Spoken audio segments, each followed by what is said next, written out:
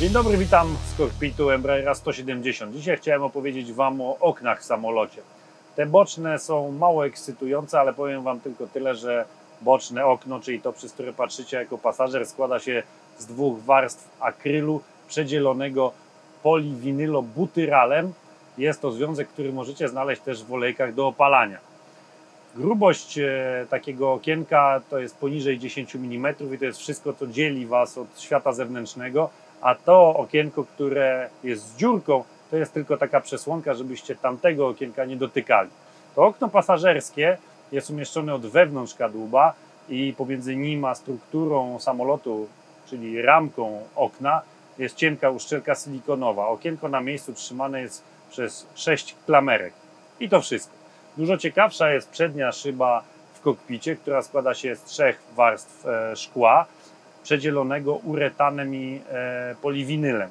Dodatkowo pomiędzy przednią, a czy pierwszą, a drugą szybą mamy folię grzejną, a żeby nie została ta folia grzejna uszkodzona, szyba od zewnątrz e, pokryta jest tlenkiem antymonu i cynku.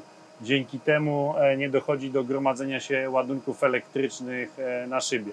Sterowanie ogrzewaniem przednich szyb e, jest w kokpicie. Tutaj mamy dwa przyciski opisane windshield e, heating, czyli podgrzewanie właśnie przednich szyb.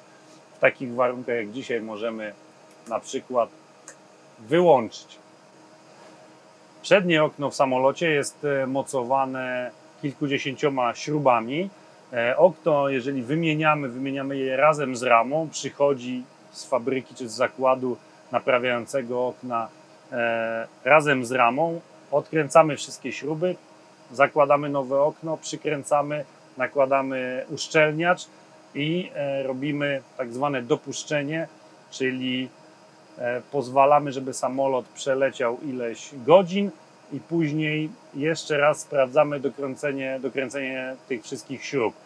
Jak wiecie z programów telewizyjnych, usterka przedniej szyby, czyli wypadnięcie jest niezwykle niebezpieczne.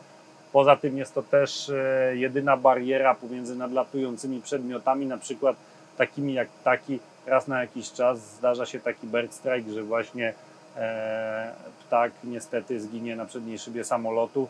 Gdyby te szyby nie były tak mocne, nie byłoby tych trzech warstw szkła, tych folii, to niestety w dużym niebezpieczeństwie znajdowaliby się piloci, a oni muszą być bezpieczni w samolocie. To wszystko, jeżeli chodzi o okna w samolotach. Jeżeli macie jakieś pytania, nie bójcie się ich zadawać, komentujcie, subskrybujcie nasz kanał. Do zobaczenia, dziękuję.